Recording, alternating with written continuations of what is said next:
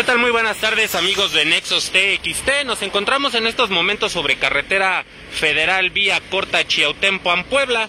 Esto ya a la altura eh, del municipio de La Magdalena, Tlaltelulco, en donde vemos que elementos de la Secretaría de Seguridad Ciudadana le han dado alcance luego de una intensa persecución al conductor de este vehículo March eh, color gris el cual, de acuerdo a la información obtenida, pues habría arrojado en uno de los arcos detectores que cuenta con reporte de robo. Por ello es que se dio esta intensa persecución a la que se sumaron elementos de la policía municipal y de, eh, recuperación de vehículos de la misma Secretaría de Seguridad Ciudadana. En estos momentos, pues el joven está eh, refiriendo que no, no cuenta con el reporte de robo, pero están haciendo la inspección correspondiente a fin de saber si en realidad tiene el reporte de robo aún vigente o ya pudo haber sido recuperado.